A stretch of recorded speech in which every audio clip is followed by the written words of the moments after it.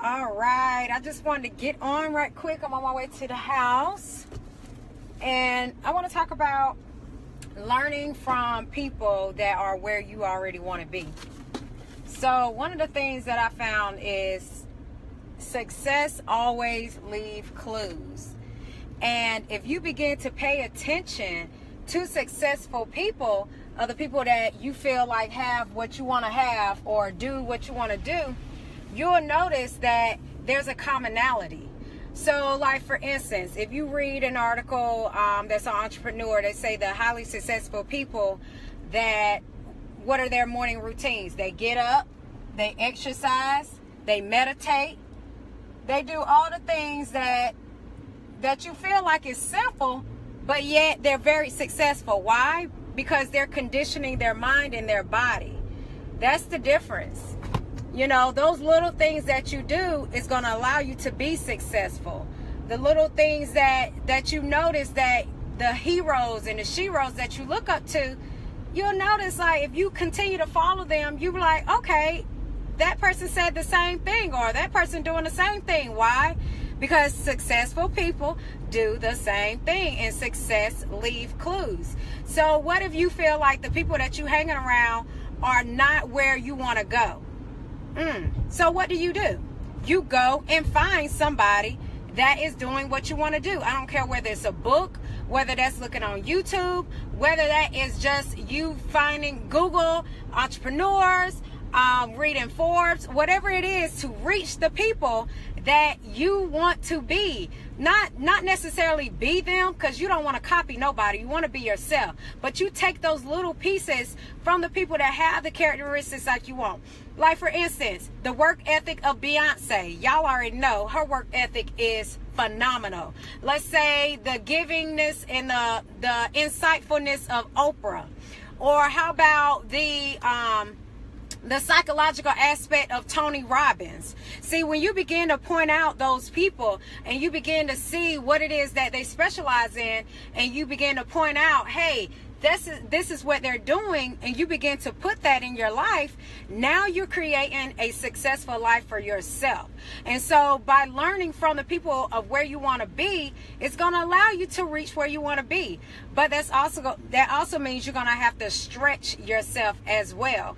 And so whenever you begin to learn from the people you're going to see like oh wow they they really doing some stuff that I, I'm I'm not really up to. Hmm so if you're not really up to it, then then you're not ready to be successful. You're not ready for that next level. Because these people, they leaving the clues. All you gotta do is just be aware of what they're leaving behind and pick it up. Because one of the things that's what I began to notice when I when I began to hang around these women that make six, seven figures a year online and, and in their businesses, I began to notice the same things. They're supportive. They are confident in themselves. They're confident in their message. They have they have that leadership quality. They have all the things that allow them to reach that position. So what do I need to do? I need to emulate what I see and not necessarily copy it, but like I said, make it to what I am. And and that is what I have always learned and what has allowed me to progress. So when you begin to learn from people and you say, well, Tashana or Coco, y'all know me by Coco, but call me Tashana. Um, if you begin to notice, like, hey, um, I don't have nobody in my area that I can look up to or can be a mentor, go on YouTube. It's a lot of people on YouTube. It's a lot of people that are on social media. And I'm not saying that go after the accounts that that have all these followings and all these things. That's not every that's not everybody's um, real forte. Some of them people be faking. I'm sorry, y'all. They be faking like crazy on social media. And you be thinking they living this good life, and you find out, dag, you ain't you ain't what I thought you was. I've had that before.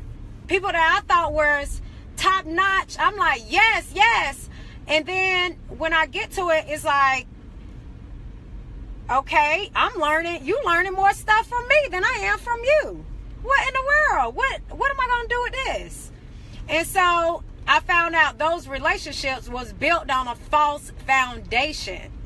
And so that's another thing. You don't want to build your success or your finances on a false foundation. Look for those people that are genuine in their approach, that give that information away for free, that is willing to help you. And I'm not saying like free is the best because sometimes you do need to pay to get the information as well, but you also want to have it to where you can search these things online. You know, it's for free. And then once you get a certain plateau, then you begin to invest in yourself if you can. But if you have the money to go ahead and invest in yourself, invest in yourself, invest in a coach. Because when you take the time to invest in yourself and to grow yourself, I promise y'all, y'all gonna see it elsewhere. And so I just wanted to give on, get on, and give y'all encouragement. Like, go out and learn from those type of people that you want not to, like I said, to be like, but to strive for. It's nothing wrong with that, you know like I just gave y'all, Beyonce, her work ethic. Just watch how she do certain things. Look at it from a business aspect, not just as a person. Like, yes, boo, you slay. No, she's slaying everything. That's